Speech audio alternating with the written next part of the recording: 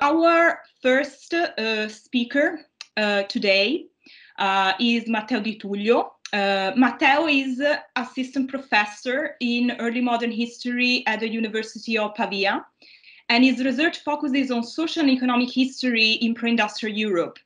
He is interested in questions of labor mobility, but also in the practices of management of natural resources and social inequality in northern Italy in the early modern period. And he is the author of several monographs and articles. I won't go through all of them. I will just mention the last two uh, from 2019, the lion's share, inequality and the rise of the fiscal state in pre-industrial Europe, who he wrote with um, Guido Alfani by Cambridge University Press.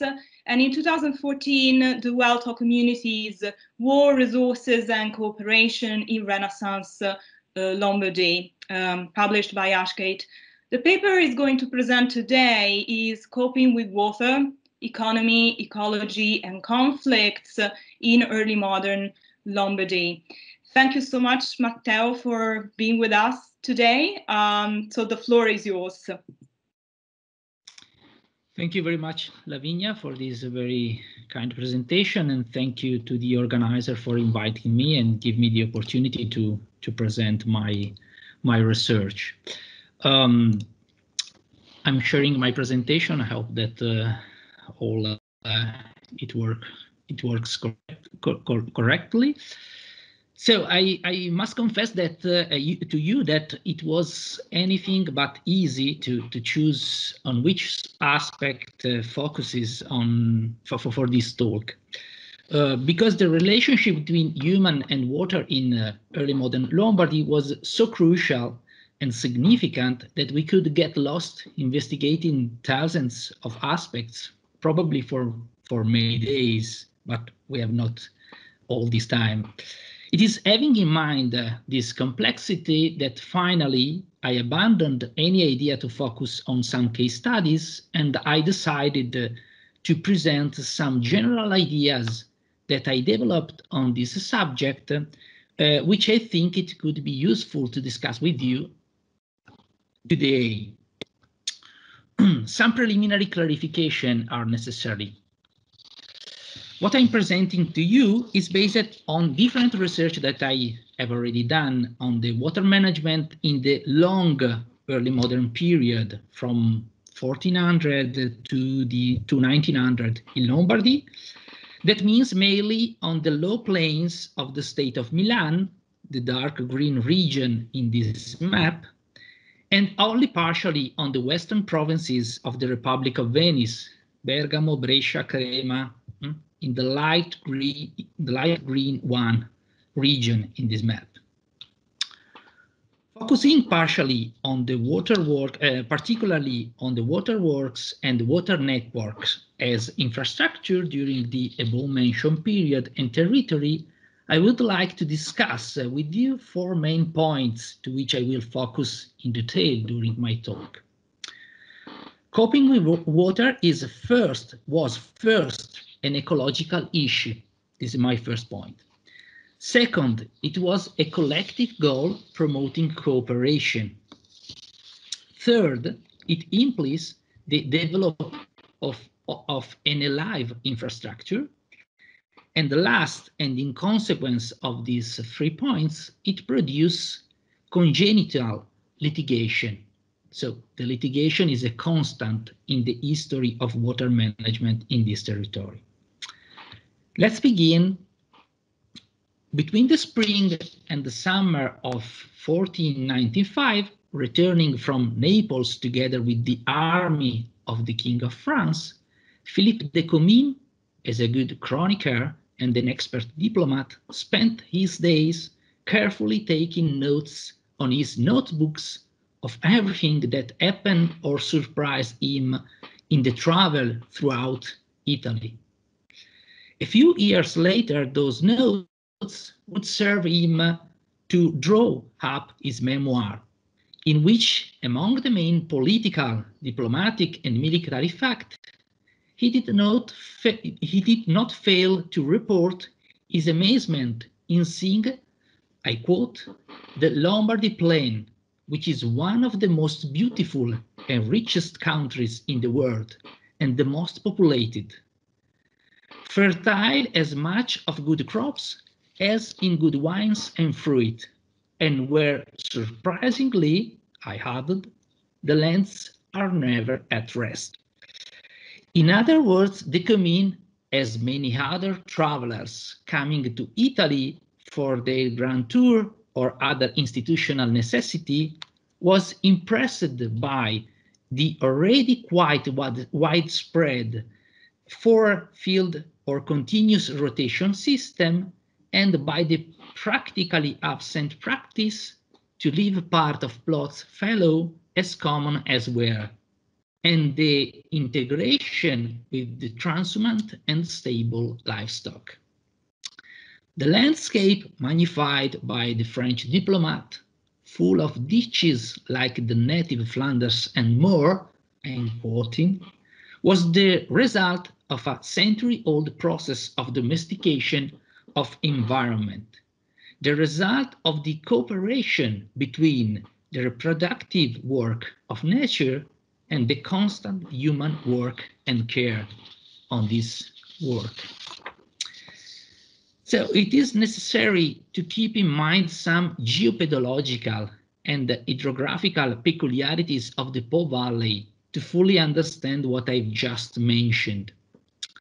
The Po Valley is divided in a dry plain characterized by permeable soil and a low impermeable plain characterized by the presence of abundant water bring by many rivers continuously fed by the perennial snow on the Alps and by the springs generated by the water stored in the underground of the dry plain and which gush up meeting the impermeable soil of the low plain.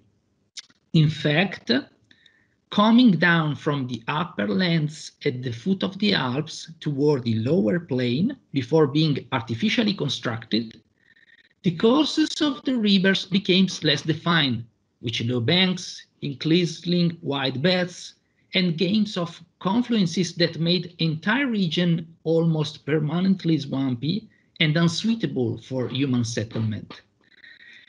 And this phenomenon, as already as I already mentioned, was also accentuated by the abundant presence of springs generated by the underground water, which finding impermeable soils in the low plain, gush it up to the surface and feed the system of extensive swamps already created by the water of rivers.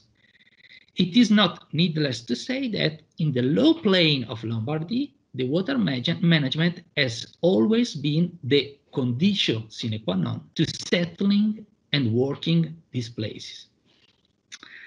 This last is the first point that I would like to stress in the presentation. Coping with water in the low plain of Lombardy was first of all an ecological issue because part of this plain was unsuitable, uh, was unable to stable human settlement without a previous hydraulic stabilization. Just to be clear, I use the word ecology to identify all the human actions in respect to the local environment and implemented in order to combine the human need to live and work in a place and the autonomous activities of nature. In this perspective, therefore, the search for an ecological balance is to be read as a human attempt to combine his needs exploiting and forging as much as possible the independent production activity of nature and partially adapting to the environment. At the same time, using the word economy, I refer primarily to all the activity for the exploitation of local resources, particularly to guarantee a kind of local reproduction more than to pursue uh, the production goal typical of the market economy. Obviously, this does not mean that it was not possible to carry out any economic activities or some form of temporary settlement in the low plains of Lombardy pre-hydraulic arrangement, but that the installation of rural settlement with all the consequences of this was possible only after a domestication of the environment. in other words, in the low plain of Po Valley, the development of an agrarian economy was possible only by obtaining a kind of hydraulic equilibrium, of course, from a human perspective, this hydraulic equilibrium, with the future advantage to make available a resource of primary importance for the agrarian exploitation of these lands. I will not go into the, the details of question already analyzed in some previous essays by myself or, or other authors, but I think it is important at least to summarize the main aspects of the intricate relationship between human and water in the low plain of Lombardy. Very briefly, after the first systematic reclamation of the low plains favored by the so-called centuriazione during the Roman period, it was from the 13th century that a new water culture stimulated a generalized process of hydraulic works. The Navigli and the Muzza, very important canal promoted by the Duke or the municipality of Milan, soon represent the main axis of a network that was becoming more and more dense. Also thanks to the practice to establish consortia and companies between the landowners for excavation of new channel, of new ditches, cables, in order to face the construction and the management costs. Controlling the water was an important factor of social and political power, as well as a great economic, economic deal. Just to provide an example, we could consider the income statement of the Cavallera Crivella ca uh, Canal, owned by the wealthy and very powerful Trivulzio family, who in the 1569 obtained an enormous net income representing more than 70% of the total revenue. Anyway, the participation to the irrigation network was not a prerogative of the richest part of the society.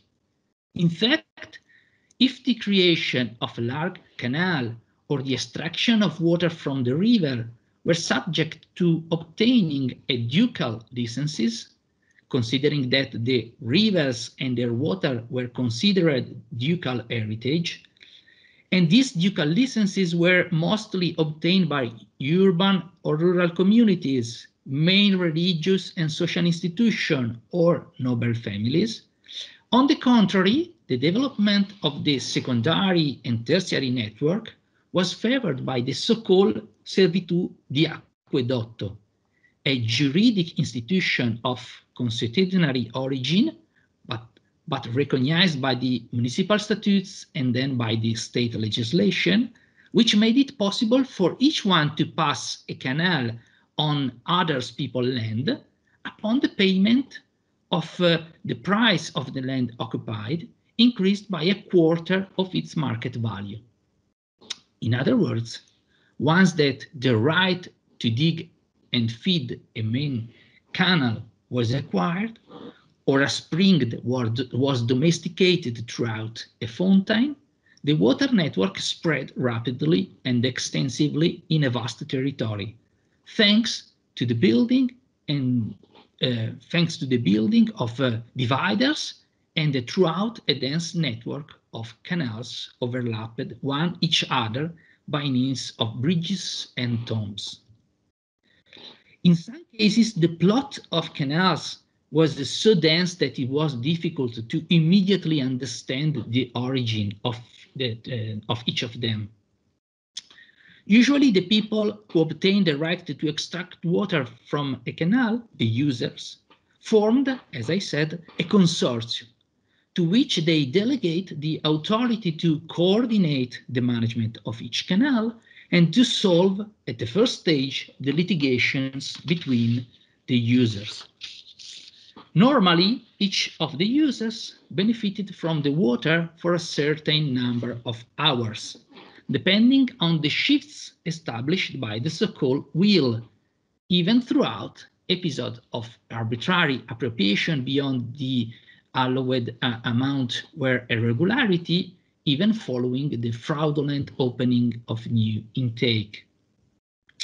I will return later on the dispute connected to the spread of the waterwork. Now I would like to focus on my second main point. What I just mentioned, in fact, shows that the management of water was a collective goal, involving public and private institutions, local and central government, wealthy and poor people. In fact, in addition to the primary above remembered ecological value, the waterworks had many other general values, like protection, disinfection, alimentation, commerce, and so on. In many cases, this public value was guaranteed by the common property of part of the waterworks system by local communities or by the states. In many other, as already mentioned, the collective property or management was possible thanks to the creation of consortia or other collective institution among those entitled to benefit from a specific canal or ditch.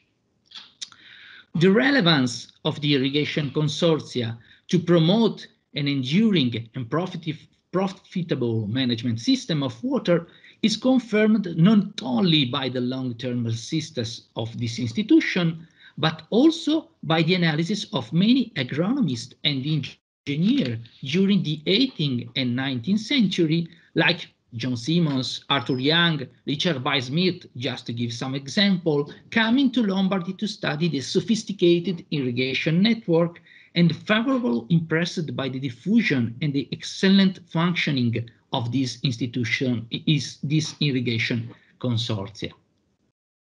Still some decades after, among the other technical problem, the commission charged to dig the Villoresi Canal, northern to Milan, considered the realization and the future management of this uh, infrastructure al almost impossible if the landowners of that region had not formed a consortium. All this above mentioned is related to a specific characteristic of water supply network, namely to be an alive infrastructure. This kind of infrastructures could be considered alive from an ecological point of view, and not only for the above-mentioned hydraulic equilibrium necessary for the human settlement. The water infrastructure, in fact, alter the local ecosystem, but at the same time, they become an integral part of it.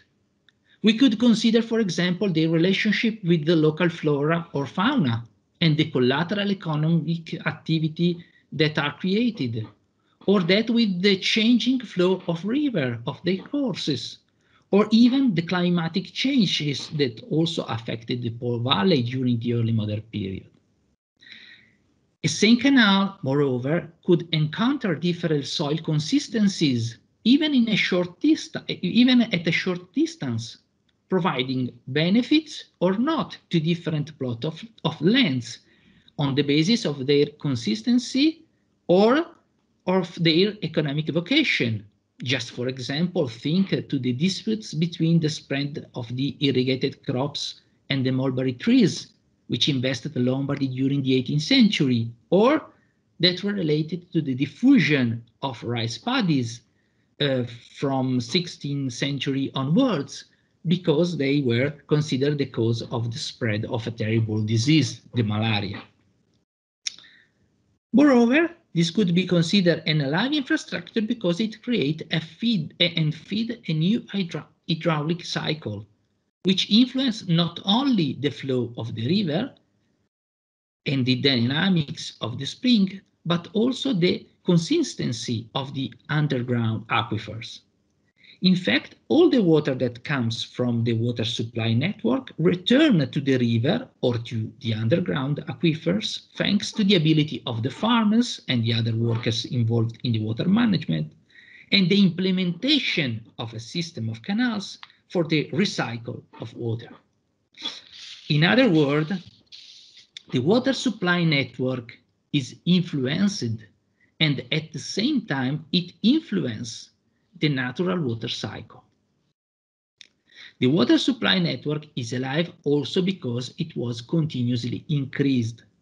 As I said before, partially because the creation, particularly because the creation of a principal line, sooner or later, favored the development of a secondary and tertiary network, as well as it stimulated the exploitation of this resource for new use. So in general, the growing of the water supply stimulates new economic activities, which in a context of reciprocal influences favor the further development of waterworks. All these had an obvious influence on the alteration of the local ecosystem so that the above mentioned process restart again and again during the time. Moving to the conclusion, it is time to soften this sort of bucolic picture provided until now by remembering that the aforementioned process of development of the irrigation network did not took place always according to a linear trajectory, nor anywhere according to a similar chronology. There are a lot of difference in between the different part of the low plain in Lombardy. Above all, however, and this is my fourth and last point, the advance or the, the, increase of the irrigation was not only a triumphal process, nor a neutral one, as I already mentioned. I have already remembered the alteration of the ecosystem produced by the reclamation activities connected with the development of the irrigation network, as well as to the new settlement of economic opportunities promoted by the irrigation system. All this said, it is quite easy to understand how these infrastructures Im immediately also became the subject of disputes. To stress this last point, I refer very briefly to a research devoted to the reconstruction of water conflicts dynamics in the low plain of Milan and Brescia during, uh, during the early modern period. Uh, for time constraints, I skip any detailed description regarding the sources and other technical cons uh, technicality concerning the data collection. But if you like, I could return uh, on this uh, during the discussion or provide uh, any other in information that you that you need. Uh, I prefer to concentrate to one of the main conclusions to which I arrive with this research and that I think can be useful in the argument that I'm developing. What I found with the quantification, but particularly uh, even more with the qualification of uh, these water conflicts, is that the increasing of water disputes is not only related to growing interest in the control of the resources or to the market pressure on these resources, to increasing conflict interest, to the recurrent arbitrary extraction of water and so on, that are all obviously um, part of the story. But also, so this increasing dispute is also related to the abandonment or, or the lack of the maintenance uh, in, this, uh, in, in the use of these resources. For example, in phase of population decrease or after a flooding.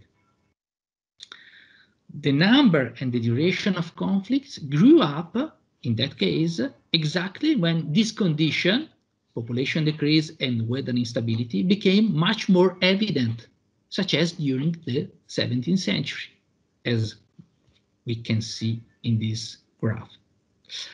There were obviously many other factors uh, that influence the dynamics of these conflicts, uh, uh, it, it's, it is not all as simple as I said you just now. But the above mentioned aspect gives me the opportunity to stress the point that the disputes were related particularly to the specific environmental context of the low plain of Lombardy and the peculiarity of the water supply network as infrastructure in fact is ecological and collective value, as well as is alive nature, makes it inevitably, inevitably sorry, subject to disputes, both for a reason of appropriation and for the need of maintenance. Thank you very much for your attention.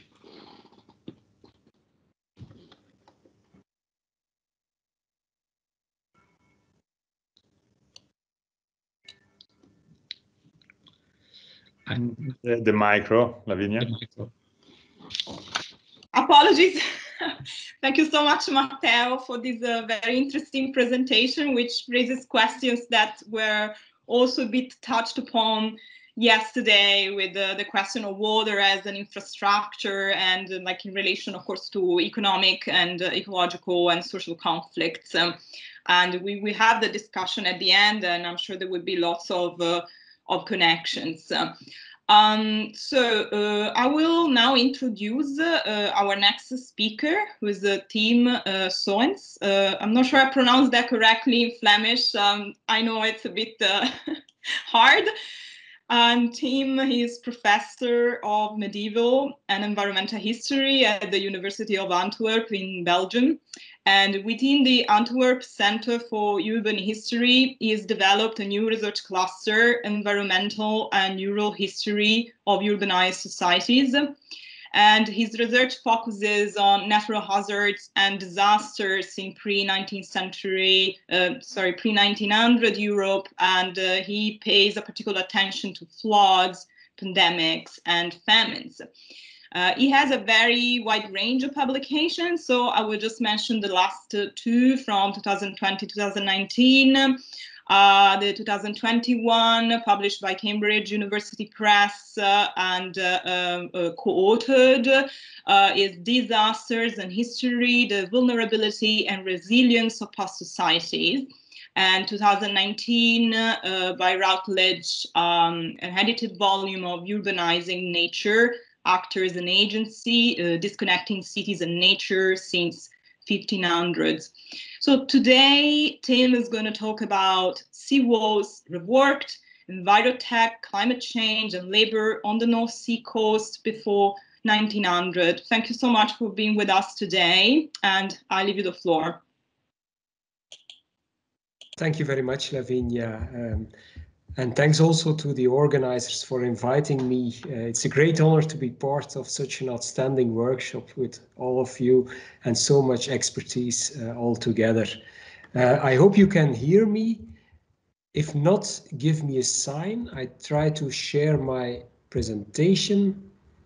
If something goes wrong, um, please let me let me know. This was already the last slide should be the first, which you see now, I hope. Let me know if, if uh, that we, works. We lost the slides. We, okay. So I saw them uh, for a second and then they disappeared. Okay, I try again. Here we are. Going to presentation mode, if that works. Okay, you see it now? Yes. Okay, that's fine. Thank you. Well, before taking you to the cold waters of the North Sea during a winter storm, I wanted to start in last July when southern Belgium and northwest Germany were hit by torrential rains which caused major river flood damage. And this was very unusual because of two reasons. First of all, it was summer. And in this region, it normally, this region doesn't suffer from flooding in the summer. And secondly, and most importantly, around 240 people lost their lives. 240 people today in Belgium and Northwest Germany, while there is no reason that anyone should ever be killed in river floods in this part of Europe today. The reason uh, of this uh, river flooding was a stationary low pressure field which remained in place for about 48 hours or more and caused 200 liters of rain to fall in one and the same uh, region and part of this uh, area.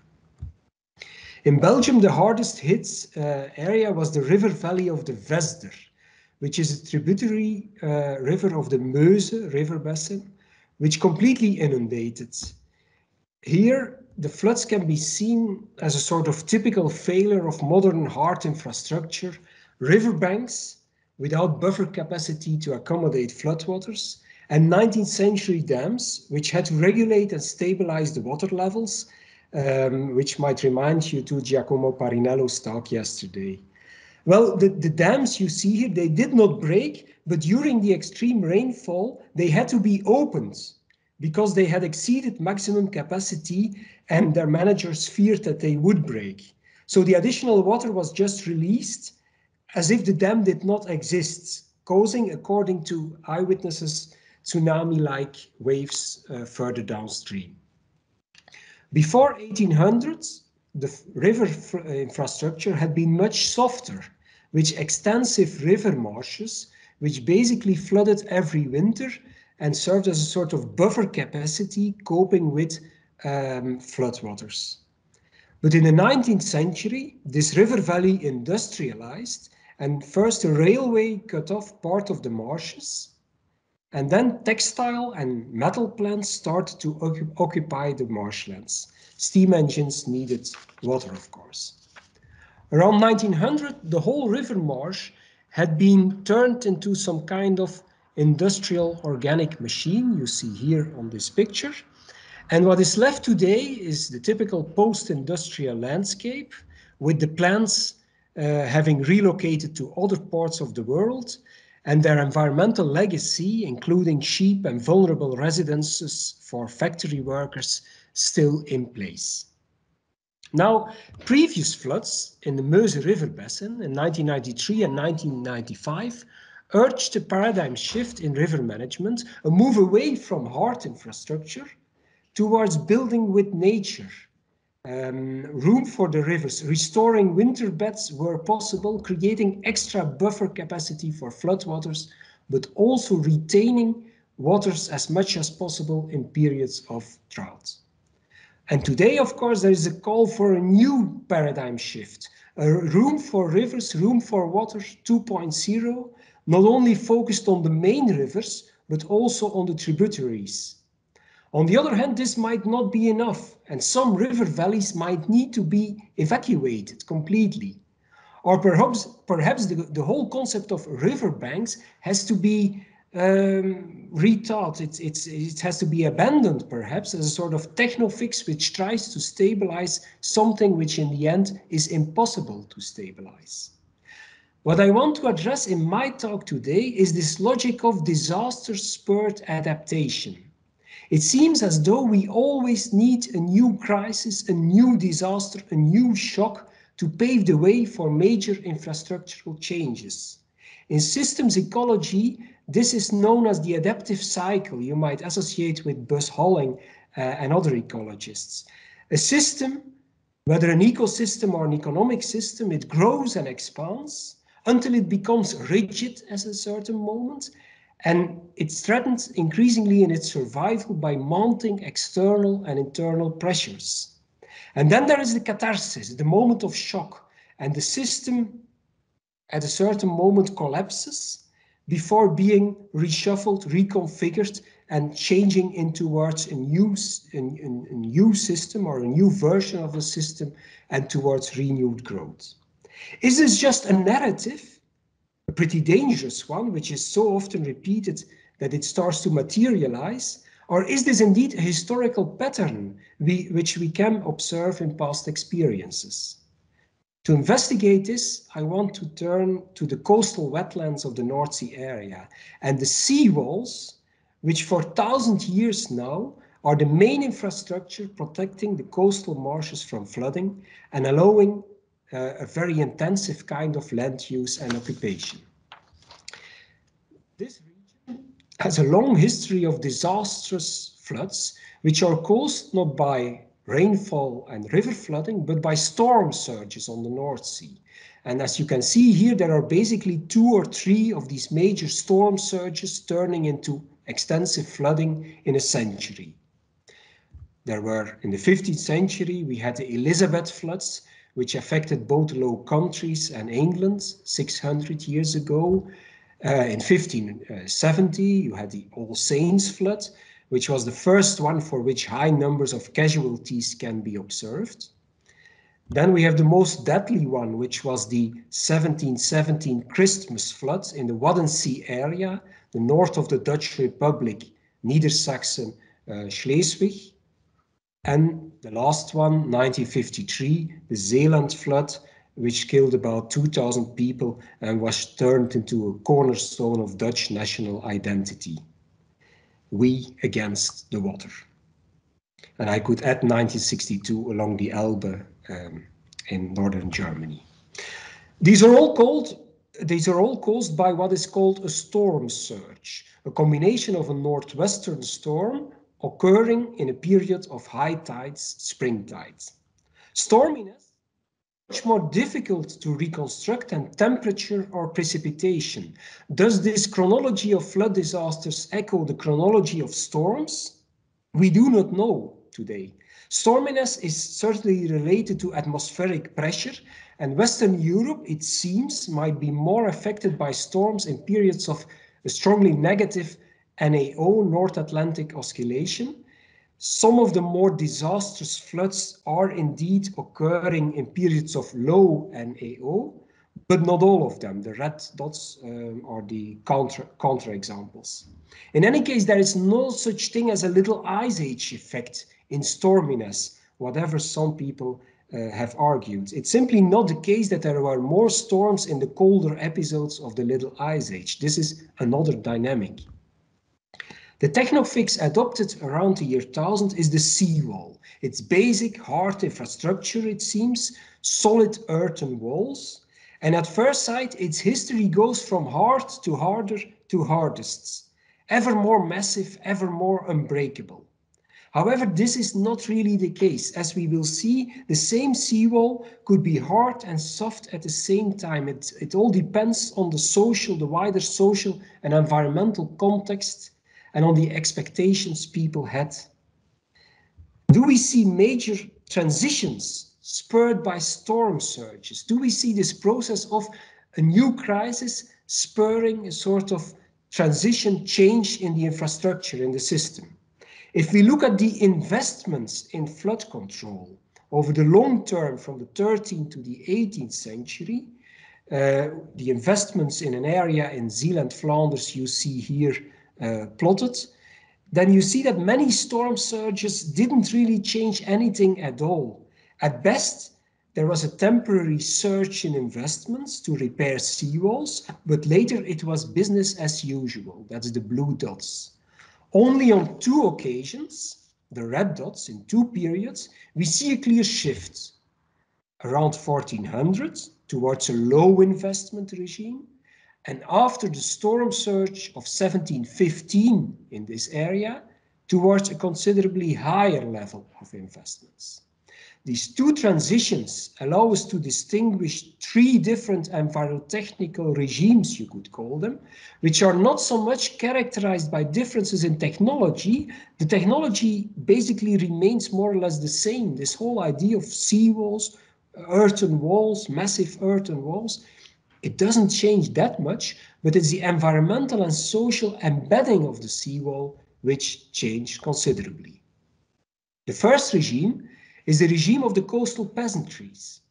And on this 16th century map, you see a seawall or two seawalls even in white, constructed, the lower one is constructed in the 13th century, 1288, and it took five years to construct, five seasons, and during every summer season, 2.3 kilometers was built as a collective enterprise by the whole community living in this coastal wetland area. Everyone was obliged to come over during a certain number of days with a spade or with a horse if he or even she uh, possessed one. These medieval seawalls, they demanded a lot of maintenance. Yearly investments were high.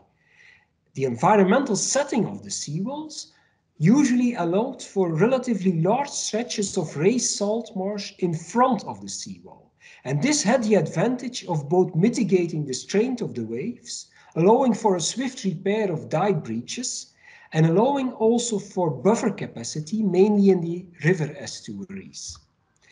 this was a nature-based solution, uh, which we could verify uh, in the field and in the historic flood experience a few years ago, concentrating on the 1717 storm surge in the north of uh, the Netherlands.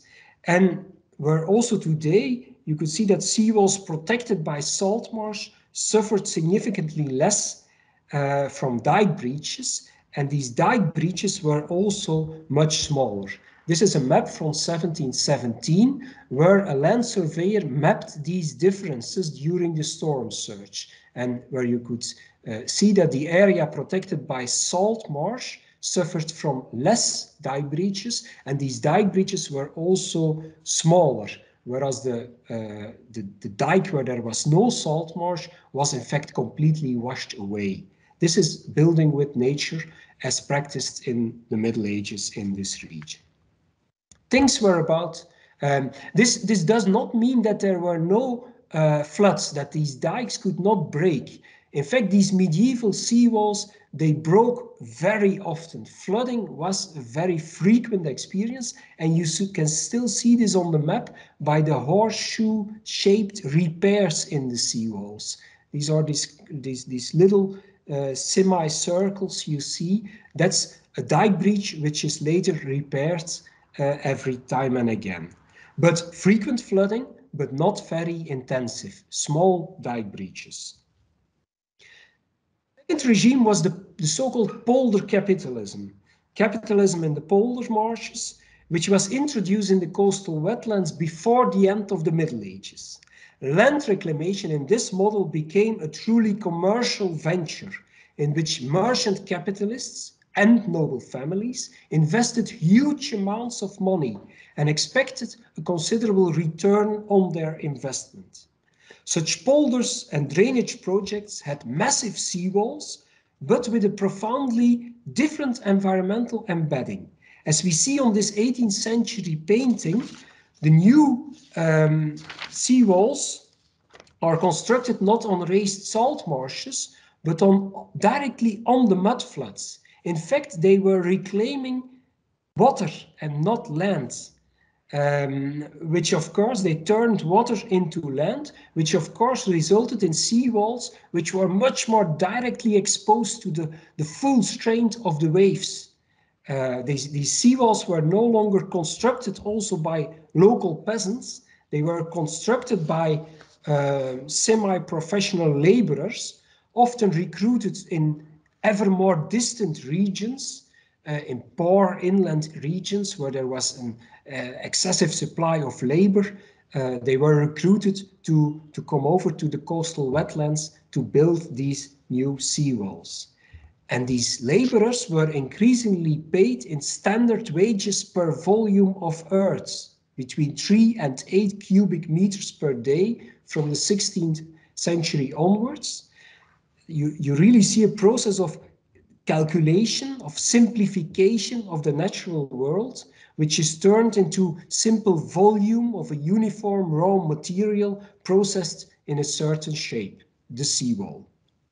These seawalls, they were not unbreakable neither, but in floods remained remarkably present throughout the early modern period. But in contrast to the medieval seawalls, if the more massive and more exposed seawalls of the early modern period broke, they broke massively. And they created huge scour holes, which were very difficult to fill and which are still visible in the landscape today as giant lake-like structures, uh, you could uh, say. They arrived to the final uh, envirotechnical regime, which is in fact the modern regime, which gradually came into being in the 18th century. And what is new compared to the previous envirotechnical regime is certainly the renewed role for the state. The state which considered floods in the 18th century increasingly as an offense by nature, which, um, which could no longer be tolerated and which had to be addressed through military means, in fact um, is the state who forced, for the first time in the 18th century, more inland areas to contribute on a permanent base to the upkeep of seawalls uh, to which these inland areas thought um, they had no interest in maintaining them. And they still contribute through fiscal, to state fiscality until today to the maintenance of these infrastructures. So we have three environmental regimes, three envirotechnical regimes, uh, you could say, each corresponding to a different social and, and environmental setting. What did trigger the change now? It was not storminess. Some storms, most storms did nothing, most even major uh, storm surges causing widespread flooding. They didn't change the envirotechnical system. Uh, what did trigger change then? In my opinion, it was politics. It was a question of shifting power relations between stakeholders. The first transition towards the capitalist polders of the later Middle Ages and the Dutch Golden Age cannot be understood without the demise of coastal peasantries, which were massively expropriated. The second transition, which in our example was triggered by a storm surge, saw the return of local farming elites, which were capable of mobilizing the state uh, to ensure higher permanent investments in seawalls. This is a question of power relations between the stakeholders involved. And this brings me to the summer of 2021, to the river floods in Belgium and Northwest Germany, with four elements in guise of conclusion. First of all, whoever studies these coastal wetlands of the North Sea area cannot but conclude that the Anthropocene has very deep roots in this area. What happens in this region and also in some other regions like uh, Matteo's low plains of Lombardy probably is a sort of is a sort of clear prequel to the great transformation of the earth in the last centuries. With Fernand Braudel, Wallerstein, Moore and Brenner, I fully agree that the capitalist mode of production, whether merchant or agrarian uh, capitalism, which becomes visible in this region before the end of the Middle Ages, was a major driver of change in this process. Second conclusion, radical disruption of environmental, envirotechnical infrastructures is rare and always remained rare. Examples of continuity and accumulation are much more visible, much more frequent, as also pointed out by Jean-Baptiste Fressoz and David Edgerton yesterday. Thirdly, every change in these infrastructures, in these envirotechnical regimes, is a political process. It is seldom the unexpected result of some external shocks or crisis. Envirotechnical systems are not getting invariably more rigid, prone to disruption. What happens is that some people say that they are rigid or that, that they have become rigid and they use environmental hazards and floods to proclaim the need for change. The results was not per definition better, there was no process of continuous improvement, but the results suited other coalitions of stakeholders. And fourth and finally, the distinction between soft and hard infrastructures in the end makes little sense. Seawalls, like the one we studied in this paper, they can be both soft and hard. Moreover, the soft infrastructure, the building with nature, is not per definition better. It might sometimes put more people at risk. What seems to matter, however, is the same concept um, Helmuth Trischler ended with in his keynote on Wednesday is the idea of slow infrastructures, widening decision making to involve more stakeholders uh, with an interest in the infrastructure and to open the public debate on the infrastructure. And this does not per definition limit um, major infrastructural changes uh, whether gradual or, or, or, um, or more radical, uh, which connects to uh, the, um, what Frédéric Graber explained in his talk yesterday. If we do not evolve that way, if we do not um, widen this kind of decision making to involve all people which have direct interest in the infrastructure, we remain stuck on the ruins of industrial modernity we saw this summer along the Vesdre River in Belgium. Uh, thank you very much. She's PI of the ERC Starting Grant Project, Sea, Sand and People, an environmental history of coastal dunes. And Joana holds a PhD um, um, in contemporary history. She's a researcher at the Center of History in the School of Arts and Humanities of the University of Lisbon. And in her work, she connects human and coastal areas, uh, land landscape transformation, cultural heritage, and uh, she looks at the environmental impacts uh, and the symbolic character of landscapes. And today she will give a presentation titled Building Environments, Historical View on Dunes as Envirotechnical Landscapes. Thank you so much for being with us today and uh, I leave you the floor. Thank you, Lavinia. So let's start for with the presentation. Yeah. I, I can tell you if, ah, yes, okay.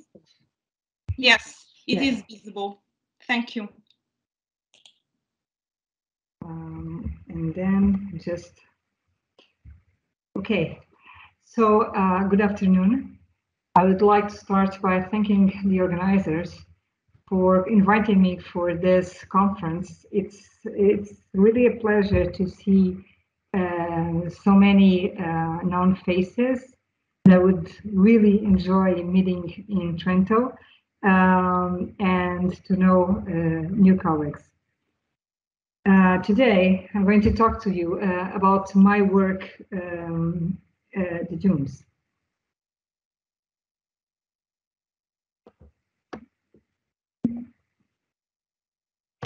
And I will start by showing you this image uh, of Fortaleza in Brazil and asking you what do you see in this image?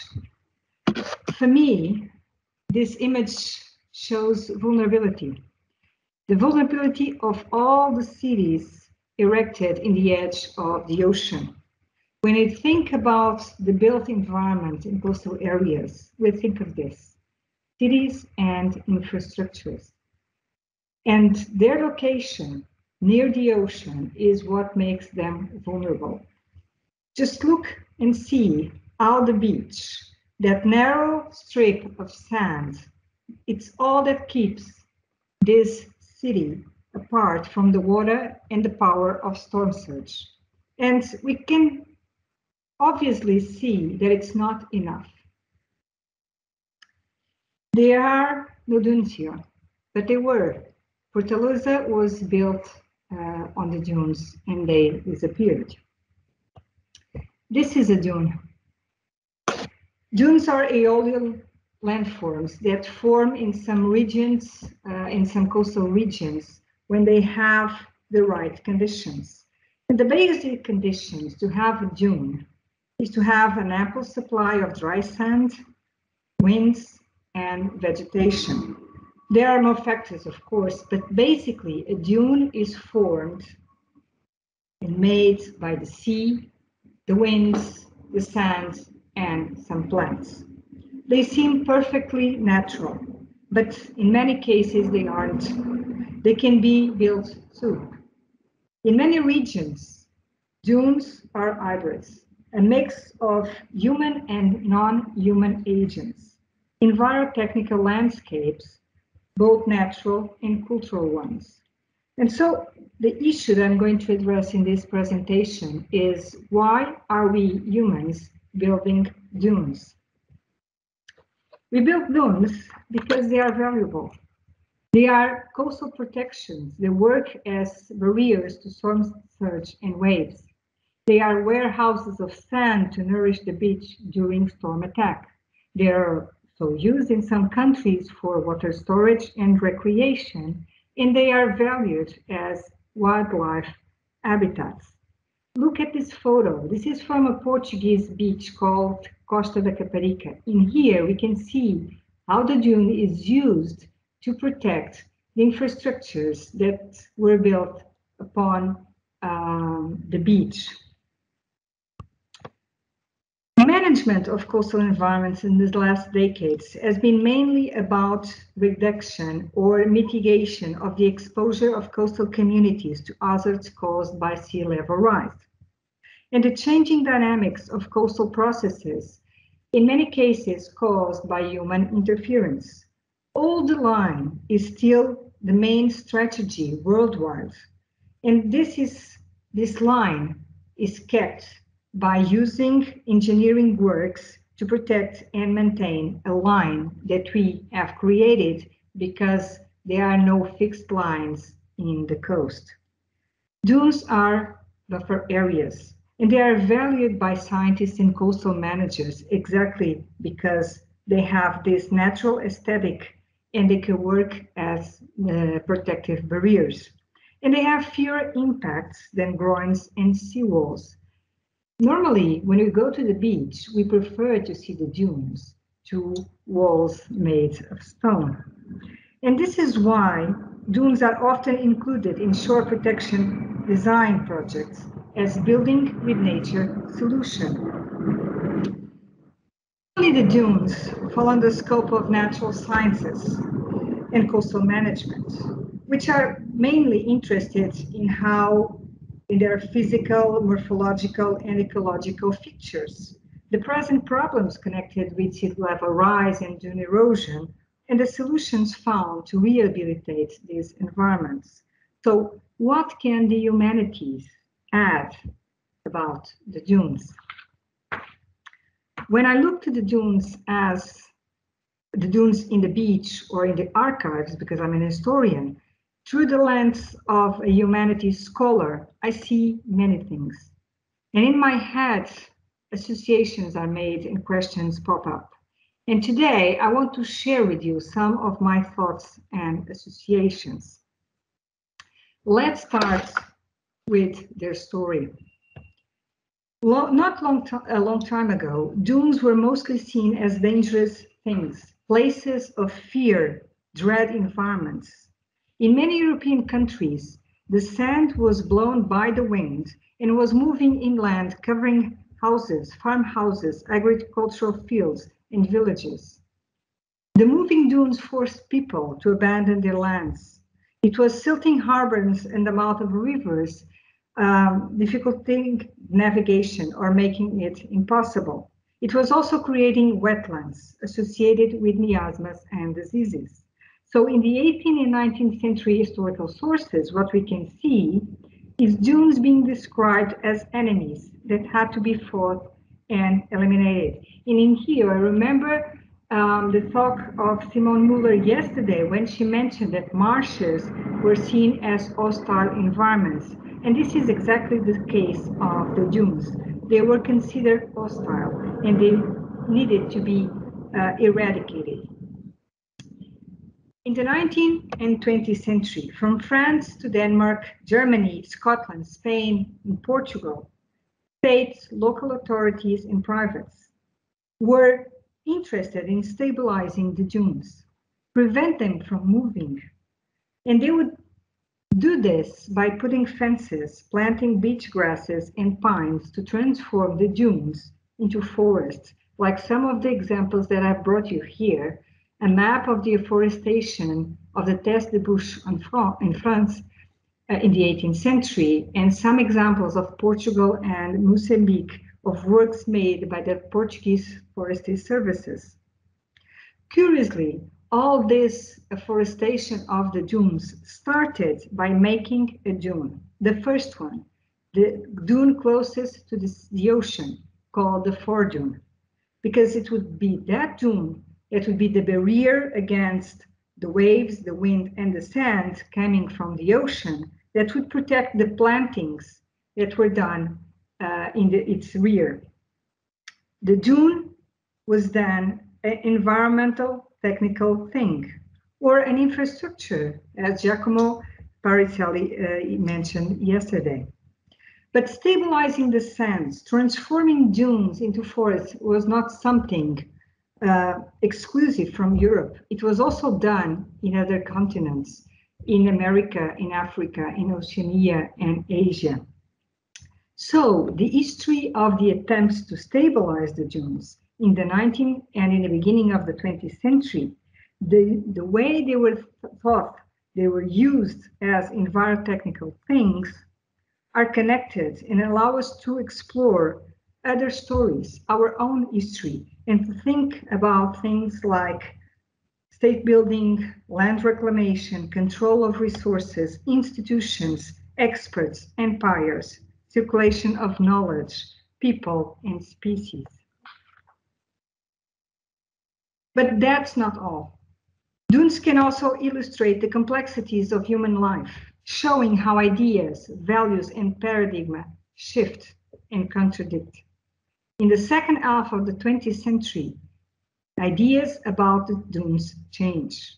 As the beach became a recreational place, the playground for the elites, and later a tourist destination for the elites, for the masses, dunes became recreational and recreational areas. At the same time, coastal science development brought a new understanding about the rule, the rule of dunes in the beach dune system. Science became aware as that dunes could be and are uh, buffer areas.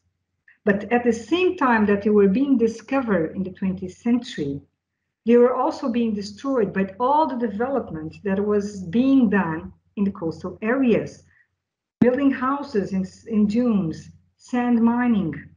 See the picture. This is the case of a beach in Portugal. We can see here how the houses were built on the beach, destroying the dunes.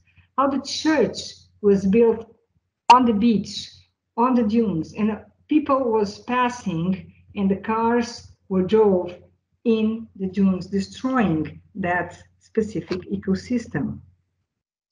So also in the 20th century, dunes become protected environments and sand is brought from other places to refill beaches threatened by erosion. Bulldozers rebuild the lost dunes and art engineering structures are made to trap the sand.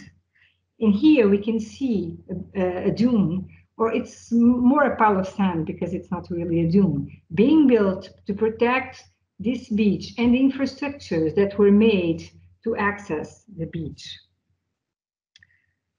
So we are rehabilitating what we have previously previous destroyed. We are building dunes to protect the cities and the infrastructures that destroy them. And in a way, thinking about the idea that Giacomo used yesterday, dunes have, if we consider what he said, um, infrastructures have become infrastructures as they are part of practices, politics, and dynamics to assure that they keep providing their services. It's everything about value. Dunes are being protected because they provide goods and services. And this can also say a lot about the human way of seeing the world as an ecosystem services provider and fixing it according to some purposes. The ecosystem service framework is used uh, for many things uh, in present days to evaluate the benefits people obtain from ecosystems and the ability of those ecosystems to provide the desired services. This assessment is used to determine which set of services is mostly is, is most highly valued. And it, this is this evaluation is translated in, into economic gain, uh, into a monetary value. And the system is managed according to that monetary value. And this kind of approach always makes me think about something that Olga Tokarczuk, the Polish Nobel laureate, wrote. One of her characters asks, why should we be useful and in relation to what? Who divided the world into useful and useless and by what right? We all know the benefits of what is useful, but no one knows the benefits of what is useless. And this idea of usefulness, the usefulness of things, change. Dunes were useless, but now they are not.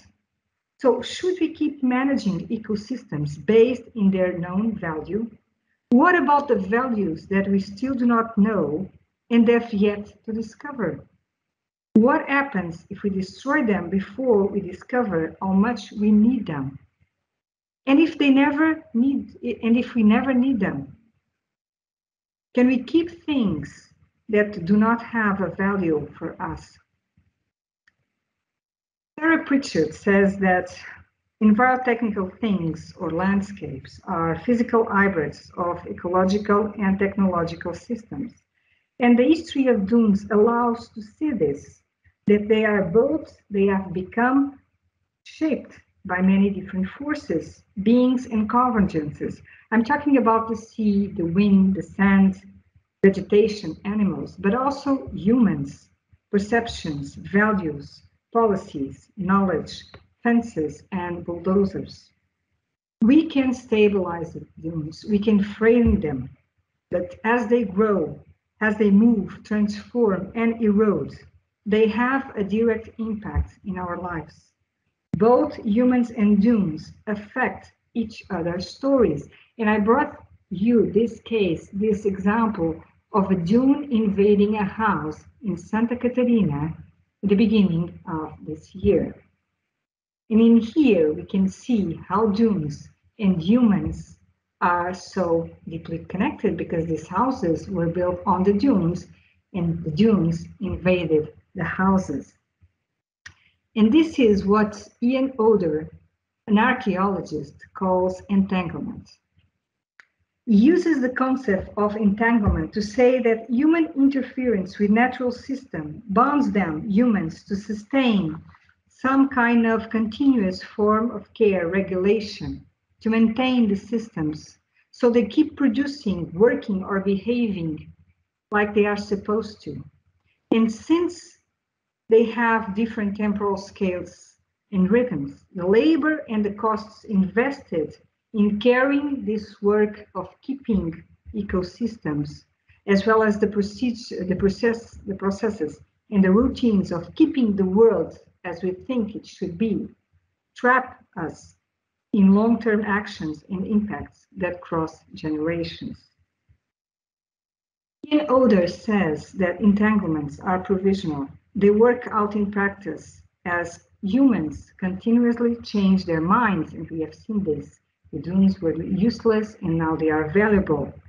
And things have a life of their own. And I think again about Giacomo and what he said yesterday about water being an infrastructure because it can be, it's predictable. Um, and I think it's interesting because all the about a different thing. It talks about the unpredictability, the unpredictable unruliness of things. We try to rationalize, to standardize, or to fix the world, but the world can can easily get out of control exactly because things are unpredictable and have this way of not behaving like we want them to do. And I show you, I, I brought you here this image. This is a picture that I took in the summer when I was having uh, my vacation. And this is a hole in the middle of a street. There was a water pipe rupture uh, in that night, and so the road collapsed. And when I was passing by, I saw the hole, and I saw that inside the hole there was sand.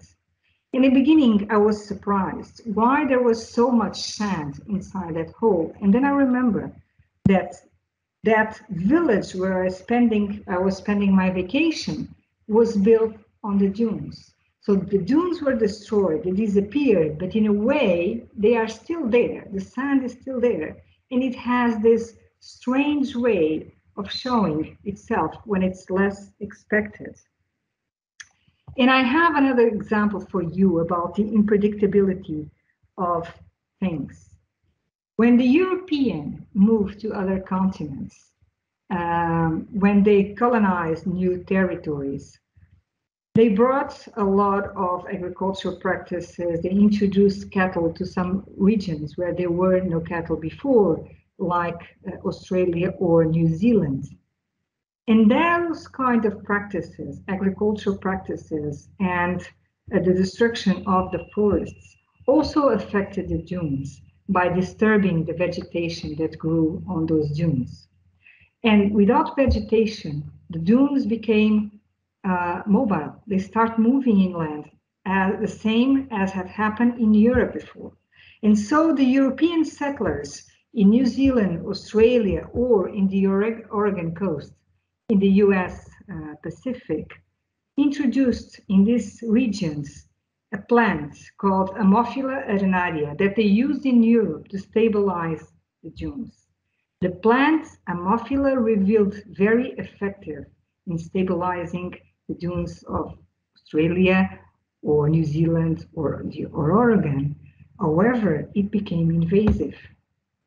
And when ideas changed about the dunes in the 20th century, that was considered uh, a problem. And so in these countries and in this uh, region, the Oregon, efforts are now being made to eradicate Ammophila arenaria and to recover native flora and habitats. And this shows how things can behave and can be unpredictable because we use them for some for one thing to solve one problem and then they cause new problems. This happens too because the symbolic, cultural, emotional, political, economic, and social discourses, ideas change over the years, and they introduce new significations to the world. And we can see this by studying the dunes. Moreover, we can see that societies are not current units, and different models and, and solutions can drift in the same period, coexisting or antagonizing uh, each other. For instance, managing dunes in present times, um, we don't have only one solution, but there are several. For instance, some uh, are interested in managing dunes through the prism of dune ecology. They want to achieve the maximum biodiversity by preserving priority species, ones that they consider rare or they are um, or more beautiful or whatever. The critics of this uh, call it dune gardening because they say that they are privileging some species and eliminating others according to a human wish list. Because dune gardening focus on the static preservation of some key species and habitats, preventing natural succession in the dunes. But in a way, this is not much different of keeping dunes just as piles of sand against the water. Piles of sand that can be done and redone after each storm. In fact, what we know is that for dunes to evolve naturally as envirotech or as environmental technical landscapes, adapting to the ongoing environmental changes they need basically two things, sand and space. But sand is getting scarce as sand has become a most uh, uh, a valuable and important commodity. In space, well, think about Fortaleza. How much space is there in that beachfront for dunes, if they exist, to move inland as a strategy to survive to the rising seas in the future. If there is not enough sand or space for dunes to shift inland, they will not survive. But this discussion is not just about the dunes. The future of the dunes is also the future of our cities and infrastructures built on the coast because it is necessary to make room for water and, and sand to safeguard them too. As dunes, cities and infrastructures may need to shift inland, retreat to survive. My presentation with some final, very personal uh, remarks. I like the dunes what I like about the dunes is their flowing hybrid character. They allow to link history, or the humanities in general with science. They cross past, present, and future, connecting stories, concerns, and hopes.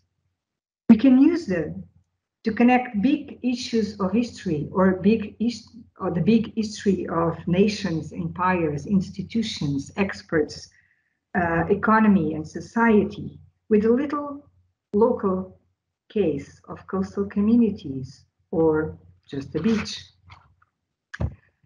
Dunes can inspire us, inspire us to think about space, uh, about going to Mars, because the science used in the dunes of Mars is, Mars is based in, science, in the science of the dunes on Earth.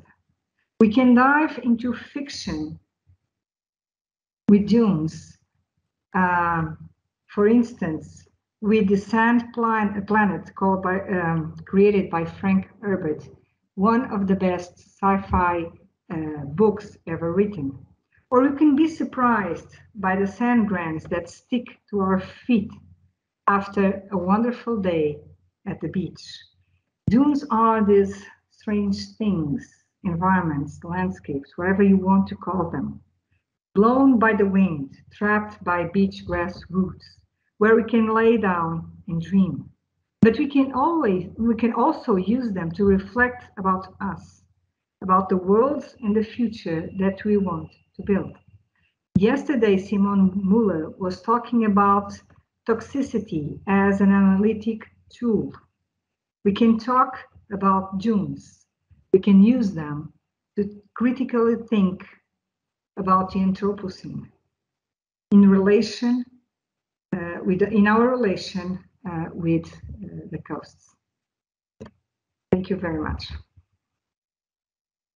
Well, thank you very much. Um, this is Christoph Cornelissen speaking again. Uh, first of all, uh, thank you very much to all the speakers of this afternoon for your highly instructive papers and also for the lively discussion, uh, which uh, probably uh, needs to be extended, but unfortunately we have reached already the time limit uh, provided for this section. And my question now goes directly to John McNeill, whether he's prepared to go on without any extra break, or all of us maybe, this question should be directed to all of us. I would suggest that we uh, carry on uh, instead of um, having another break. Is there anyone amongst you who would like to protest either publicly or uh, by writing something down in the chat? So I'll give you this opportunity. It seems that most of us, almost all of us, are content in carrying on. I think we should try to, to do this right now. Now, we have almost reached the end of this wonderful conference, which is wonderful in many respects, uh, intellectually, but also, as, it, as I said, so lively, even though we are all trying our best to work online only.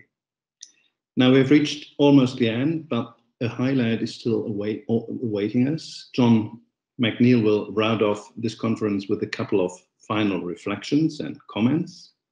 And of course, we are extremely happy that he found the time to participate in this conference. Uh, now, it doesn't make sense probably to present this last speaker to you. All of you know, know him for various reasons. You're all specialists in the field which is um, being investigated by John McNeill, or has been investigated for decades. So just let me confine my presentation to three major titles, and they may be the wrong ones, and you will probably like to add other ones, but I, have chosen just three titles. John McNeill, Something New Under the Sun, An Environmental History of the 20th Century World. The second title he brought out together with Peter Engelke, the Great Acceleration and Environmental History of Anthropocene in 2016. And last, the last title I would like to mention here is The Webs of Humankind, a two-volume study which came out in 2020. And that's it for the moment. Of course, we could carry on for at least half an hour just presenting different institutional affiliations, important findings, and other publications. But I hope it's okay to stop to make a stop at this very moment. John, the floor is yours, and we are looking forward to your comments. Excellent. Uh, thank you very much, and uh, good afternoon to everyone. It's still morning here where I am. Uh, you've done me a great favor by forcing me to go to bed early and get up early over the last few days. So um, I want to try to keep my remarks uh, brief, particularly as uh, you haven't had a break for a while. I do want to say thanks to the organizers for including me uh, in this. Uh, it's been very stimulating to hear the talks and see the presentations. I also want to say thanks to everybody who's been operating in their second or third language. As a native speaker of English, I am amongst the, what I think is only three people at this conference who's been enjoying the language subsidy of being a native speaker. So thank you uh, to all for that. I'm going to take the point of view of trying to make suggestions for the editors about how to get from a conference to a uh, publication. Obviously, the first thing that you need is excellent papers. Fortunately, you have them. The second thing you need is threads to unite uh, at least some of the papers. Rarely can you find threads that will unite them all. So I'll suggest a, a, a number of threads, maybe six or seven. Uh, probably most of these you will want to discard, but perhaps uh, one or two of them you will want to emphasize uh, in an introduction and perhaps use in organizing the publication uh, into parts. So that's what I'm about to do. But first, in his keynote, uh, Helmuth asked me directly about my experience as a member of the Anthropocene Working Group. So I thought I would answer that briefly uh, before getting into the substance of my remarks about the conference. So, my main observation as a historian, one of two historians working with um, a group that's overwhelmingly made up of geologists, and within that, stratigraphers. My main observation is what I call the clash of periodizations. Uh, you may know that there was a, a, a, misguided book some years ago called The Clash of Civilizations. In the Anthropocene Working Group, we have a clash of periodizations in two senses. Uh, one is that the geologists, unsurprisingly, are often interested in extremely long uh, periods of time, whereas the historians, myself and Naomi Oreskes, uh, usually take what for them are uh, trivial uh, perspectives on time. But more interesting than that for me is that the geologists uh, have to vote on periodization. And this is going to happen with respect to the uh, Anthropocene. It's already happened uh, within the Anthropocene Working Group uh, it's going to happen at the higher levels uh, in due course. And as a historian, of course, this seems very peculiar because uh, historians do not vote on periodization. Historians do whatever they like with respect to periodization. So, um, and often we make suggestions and nobody pays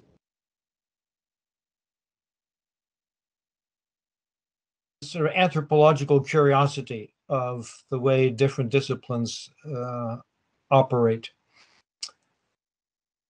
Um, so that's um, what I wanted to say about my experiences with the Anthropocene Working Group.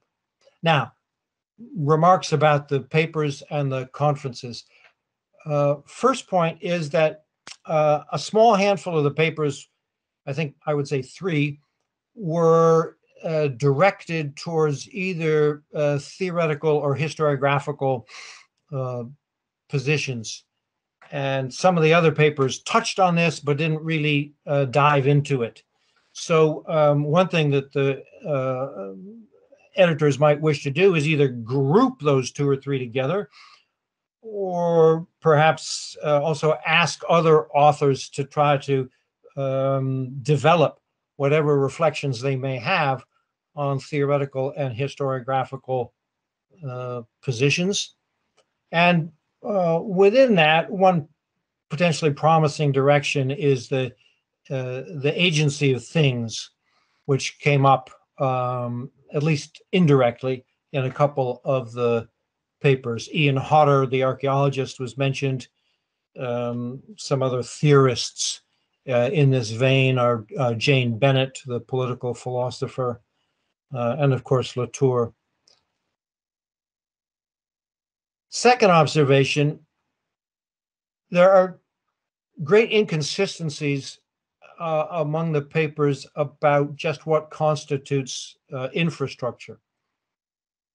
I think that's inevitable. I don't think the editors could try to impose uh, any uh, narrowing of definition uh, upon the authors. Some of the papers address this directly and talk about what qualifies as infrastructure. Most do not. Um, perhaps uh, the editors would like to encourage the authors who have not done so to reflect on what constitutes uh, infrastructure in their particular uh, understanding of the term. Or perhaps the editors themselves need to reflect uh, on this theme and admit the inconsistency from paper to paper uh, about how infrastructure is understood. Third observation uh, it's really something that I was uh, curious about, left curious about in many of the papers, even though it was addressed to some extent in some of the papers, and that is um, labor. So, in some cases, I think we have specialists in environmental infrastructure as you know, in many parts of the world, there are specialist well diggers. Uh, and I would bet that the people building the stue that we learned about on the first day were also specialists, but I don't know. I expect there's, uh, in many instances, classes of skilled uh, specialists involved. But there's also, uh, oh, and I should say that these might well be mobile, moving from um, valley to valley, region to region, selling their expertise. But there's probably also uh, a cheap labor component in environmental infrastructure. People digging canals, uh, building seawalls, extracting peat, um, and so forth. And uh, in this respect, the uh, price of labor might be a- an important consideration in both the construction and the maintenance of environmental infrastructure. And so fluctuations in the price of labor, uh, the availability of cheap labor, uh, might be an interesting thing to consider in some of the papers where, as far as I could tell, it hasn't been considered.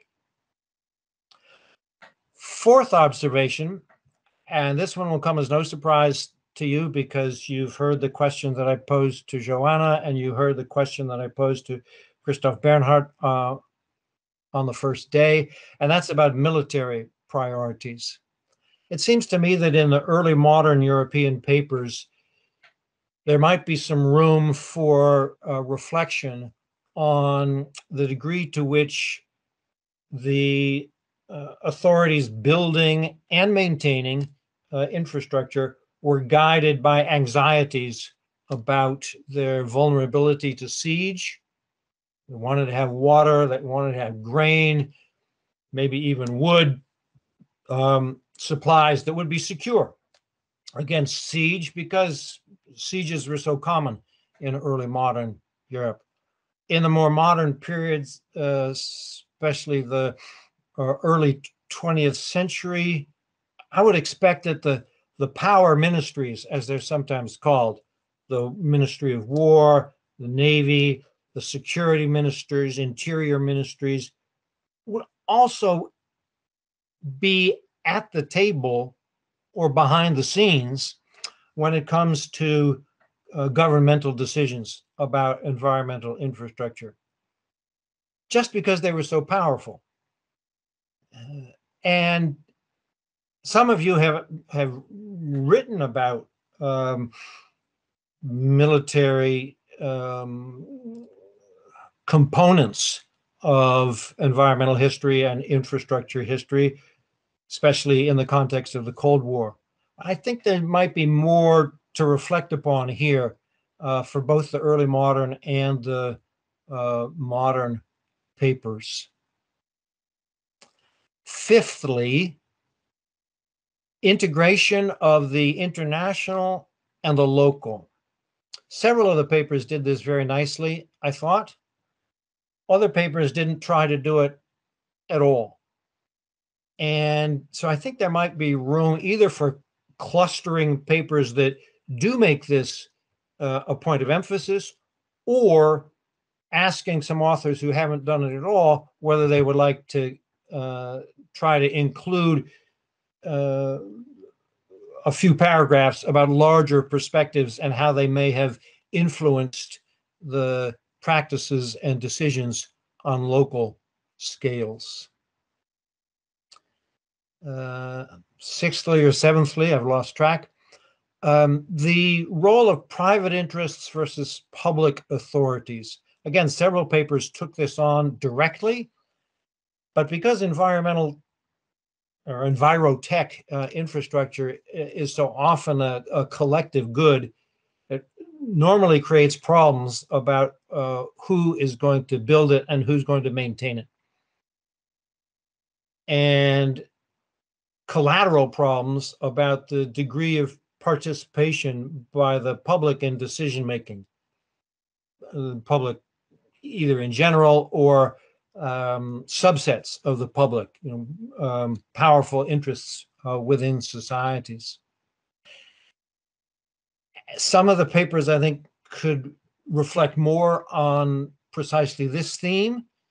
Um, and there may be interesting patterns over the five or 600 years that are best represented uh, in these papers. There may be interesting patterns in terms of difference among regions, different amongst differences amongst uh, mountain valleys, coasts, uh, differences among different types of environmental infrastructure, water, energy, um, transport. So I thought there might be some room for um, development on the part of some of the authors uh, in that regard. Nextly, uh, climate change, uh, particularly as regards uh, water infrastructure. And in the discussion just now, uh, we got into that. Um, but obviously, water uh, infrastructure is particularly sensitive to uh, short-term flux and long-term shifts uh, in rainfall. But even um, timber transport uh, infrastructure uh, is uh, sensitive to things like uh, snowfall, as we learned on the first day.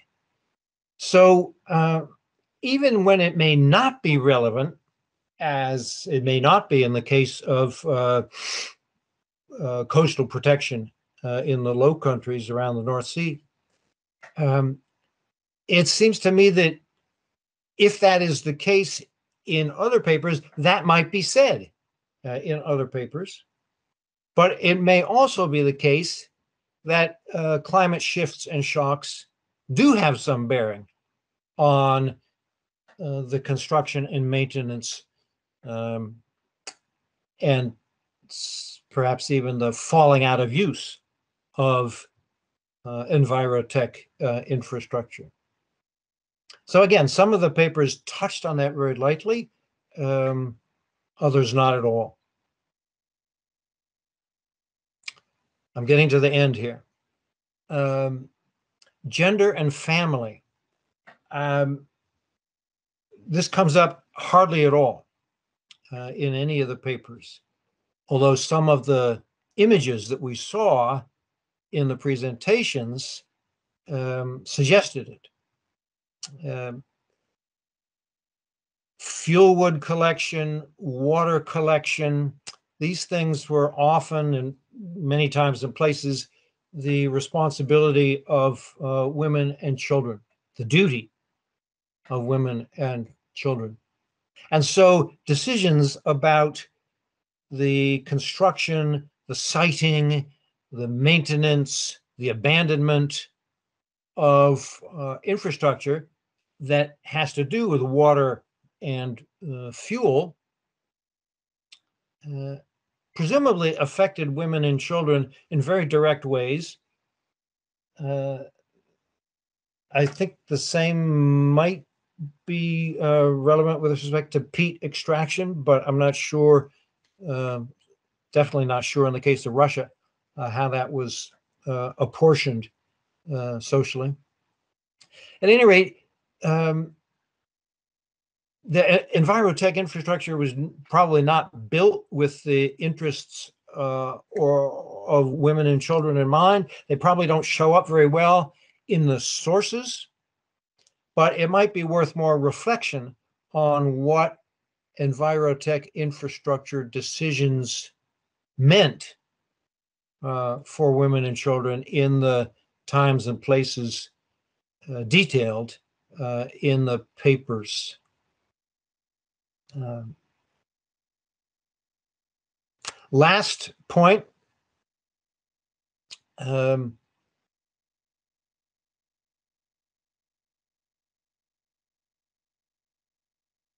way or another, either exclusively or significantly with water infrastructure. Uh, I'm including the coastal ones uh, as well as those that deal with uh, freshwater issues. So energy infrastructure and transport infrastructure seem a little bit uh, underrepresented relative to water and relative to their importance to human societies, or so it seemed to me. I don't think there's anything that can be done about this from the point of view of organizing a publication, but um, I mean, I don't think there's anything that can be changed about it, is what I mean. Uh, but it might be something that the uh, editors would wish to reflect upon in an introduction uh, or use as a principle in organizing uh, the eventual publication. So that's it from me. Uh, I do again want to congratulate the, well, both the organizers and the uh, presenters for what, for me at least, was educational, uh, absorbing, uh, and also um, inspiring. Uh, the depth of research and um, the range of uh, research that we have just uh, borne witness to in the last few days um, is very impressive. And um, I think the organizers should feel pleased with the result. Thank you very much. Thank you very much. Well, thank you indeed for your wonderful comment, stimulating comments, and also for the fact that you sort of designed a volume of high of a high value, uh, which may come out of this conference. Uh, we have some experience, of course, with uh, bringing together people from different countries uh, on different subject matters. But uh, I think this this conference really merits a very very good uh, um, work on and and um, literally a precise argument in the way you designed in, in, your comments. And uh, I'm sure Katja and, and Giacomo will fall back, not just on your comments, but might turn back to you in order to discuss their final version for the volume which we will produce.